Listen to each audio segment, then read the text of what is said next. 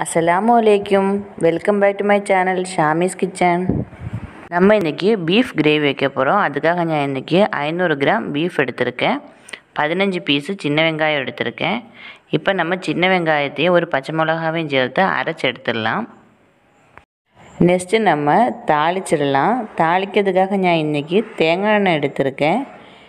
நான் இன்றைக்கி மூணு டீஸ்பூன் தேங்காய் எண்ணெய் எடுத்திருக்கேன். நெக்ஸ்ட்டு நம்ம பெரிய வெங்காயம் நான் இன்றைக்கி நீளமாக நறுக்கினது நாலு எடுத்திருக்கேன். அரை கிலோ பீஃபுக்கு நாலு போதும். ஒரு கிலோ பீஃபுக்குனா நீங்கள் ஏழு எட்டு போட்டுக்கோங்க. இப்போ நம்ம வெங்காயத்தை நல்லா வதக்கிக்கலாம். வெங்காயம் நிறைய போட்டால் தான் அந்த கிரேவி நல்லா டேஸ்ட்டாக இருக்கும். நல்ல வெங்காயத்தை வதக்கிக்கோங்க. இப்போ நம்ம ரெண்டு பச்சை மிளகா போட்டிருக்கு. கொஞ்சம் கருவேப்பில் போட்டிருக்கு. உங்களுக்கு உரப்பு ஜாஸ்தியாக வேணும்னா இன்னும் ரெண்டு பச்சை மிளகாவை ஆட் பண்ணிக்கோங்க. இப்போ நம்ம எல்லாத்தையும் சேர்த்து நல்லா மிக்ஸ் பண்ணிக்கோங்க. இப்போ நம்ம அரைச்சி வச்சுருந்த சின்ன வெங்காயத்தை போட்டுடலாம். சின்ன வெங்காயத்தை போட்டதுக்கப்புறம் நல்லா மிக்ஸ் பண்ணணும். நல்லா வதங்கினா தான் கிரேவி நல்லா டேஸ்ட்டாக இருக்கும். நல்லா மிக்ஸ் பண்ணி விட்டுக்கோங்க. நெக்ஸ்ட்டு நம்ம இஞ்சி வெள்ளைப்பூடு பேஸ்ட்டு ஆட் பண்ண போகிறோம் ஆட் பண்ணதுக்கப்புறம் நல்லா மிக்ஸ் பண்ணி விட்டுக்கோங்க. நெக்ஸ்ட்டு நம்ம கரம் மசாலா ஆட் பண்ண போகிறோம் நம்ம வீட்டிலே பவுடர் பண்ணி வச்சா கரம் மசாலா ஆட் பண்ணியாச்சு. எல்லாத்தையும் சேர்த்து நல்லா மிக்ஸ் பண்ணி விட்டுக்கோங்க. நல்லா மிக்ஸ் பண்ணி வதங்கினா தான் நல்லாயிருக்கும் நெக்ஸ்ட்டு நம்ம மஞ்சத்தூள் ஆட் பண்ணியாச்சு. ஆட் பண்ணதுக்கப்புறம் நல்லா மிக்ஸ் பண்ணிக்கோங்க. பீஃப் நம்ம பல டிஃப்ரெண்ட் வெரைட்டியிலும் வைக்கலாம். இப்போ நான் இந்த மசாலா பண்ணதுக்கப்புறம் பீஃபை போட்டு ஒன்றா வைக்க போகிறோம் முதல்ல பீஃபை வேக வச்சதுக்கப்புறம் நீங்கள் மசாலா பண்ணி கூட வைக்கலாம். வத்தல் தூளை ரெண்டு டீஸ்பூன் ஆட் பண்ணியாச்சு. நெக்ஸ்ட்டு நம்ம மல்லித்தூளை மூணு டீஸ்பூன் ஆட் பண்ணிக்கோங்க. இப்போ உரப்பு நமக்கு கரெக்டாக இருக்கும். இப்போ நம்ம எடுத்து வச்சுருந்த பீஃபை நம்ம ஆட் பண்ண போகிறோம் வெங்காயம் மசாலா எல்லாம் நமக்கு ரெடி ஆயிடுச்சு. இப்போ நம்ம எடுத்து வச்சுருந்த பீஃபை போட்டு நல்லா மிக்ஸ் பண்ண போகிறோம் உப்பு உரப்பு எல்லாம் எல்லா பக்கமும் பெடுந்த மாதிரி நல்லா மிக்ஸ் பண்ணிக்கோங்க. இப்போ நம்ம டேஸ்ட்டுக்காக ஒரு அரை டீஸ்பூன் பெப்பர் பவுடரை ஆட் பண்ண போகிறோம் ஆட் பண்ணதுக்கப்புறம் நல்லா மிக்ஸ் பண்ணி விட்டுக்கோங்க.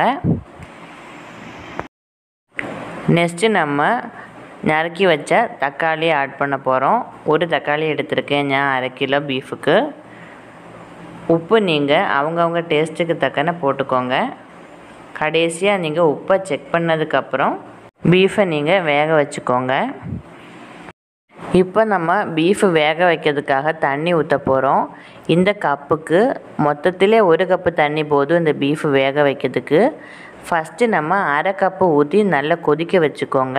கொதிக்க வச்சதுக்கு அப்புறம்தான் நம்ம திரும்ப அரை கப்பு தண்ணியை ஊற்றணும் அப்போந்தான் மசாலா உப்பு உரப்பு எல்லாமே அந்த கறியில் பிடிக்கும். பீஃபு கிரேவி பரோட்டா சப்பாத்தி சோறு எல்லாத்தோடையும் வச்சு சாப்பிட்றதுக்கு ரொம்ப சூப்பராக இருக்கும்.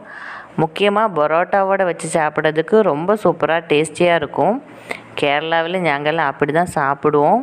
நான் இன்றைக்கி பீஃபு கிரேவி வச்சு பரோட்டாவோடு வச்சு சாப்பிட போகிறோம் இப்போ நம்ம மிச்சம் இருந்தால் அரை கிளாஸ் தண்ணியை ஊற்றிக்கலாம் உப்பு உரப்பு எல்லாமே கரெக்டாக இருக்குது இப்போ நம்ம பீஃபை வேக வைக்க போகிறோம் ஹை ஃப்ளேமில் நாலு விசில் வச்சுக்கோங்க. லோ ஃப்ளேமில் ஒரு விசில் வச்சுக்கோங்க. மொத்தத்தில் அஞ்சு விசில் வச்சுக்கோங்க.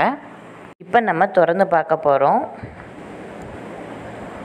நல்ல வாசனையாக இருக்குது பாருங்கள் திக்காக கரெக்டாக கிரேவி ரெடி ஆயிடுச்சு. இப்போ நம்ம கறி எடுத்து பார்ப்போம். வெந்திருக்கான்னு.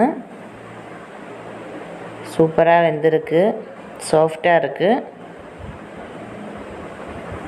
நம்ம கடைசியாக கொஞ்சம் தேங்காய் நறுக்குனதை போட போகிறோம் நல்ல டேஸ்ட் இருக்கும். அந்த தேங்காய் எடுத்து நம்ம சாப்பிடலை. பீஃபோடு அந்த தேங்காவும் எடுத்து சாப்பிடல. ரொம்ப சூப்பராக இருக்கும்.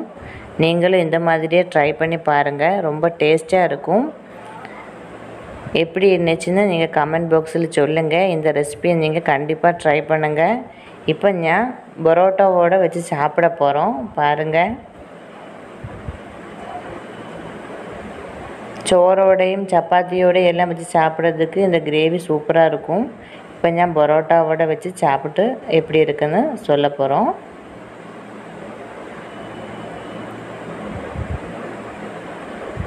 இந்த கிரேவி நல்ல திக்காக இருக்குது முதல் ഞാൻ டேஸ்ட் பண்ணி பார்ப்போம் எப்படி இருக்குன்னு. சூப்பராக இருக்குது எப்படி இருந்துச்சுன்னு நீங்கள் ட்ரை பண்ணிவிட்டு கீழே கமெண்டில் சொல்லுங்கள்